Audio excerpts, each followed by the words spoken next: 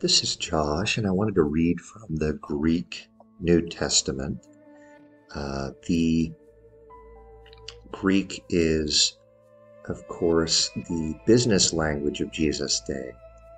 Let's read the Greek New Testament. En arche hen ho lagas, kai ho lagas en proston theon kai tias enholagas. Haltas en en arche proston tion.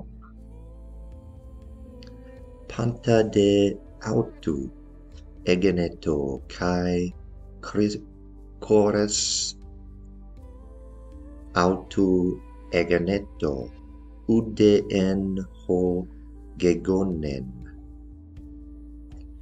en auto zoe en kai he zoe ento fos ton anthropon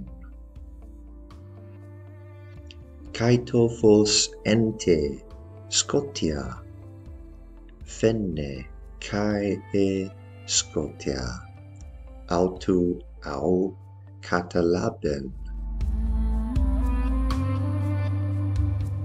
egeneto anthropos apestal menos paratio anima auto ionnes ionnes autos elthen es marturiam.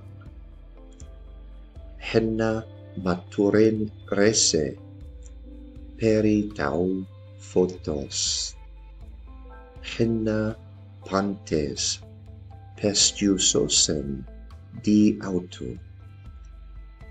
Auc in ecenas tophos al henna.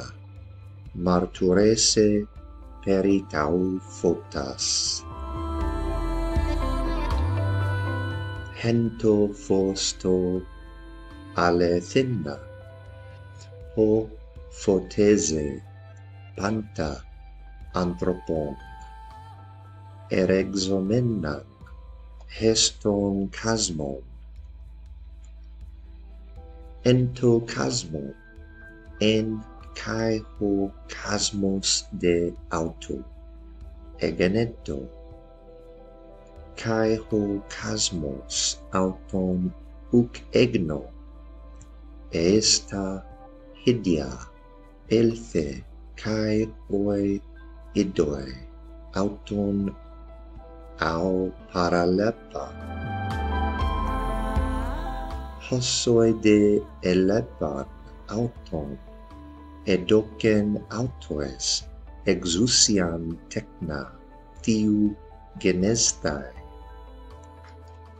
Tois pistusen esto anamo auto.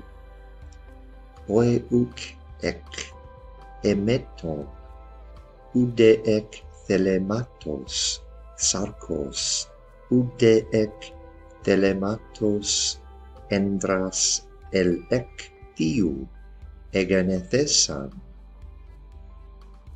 that was the book of john chapter 1 1 through 14 in the classical biblical greek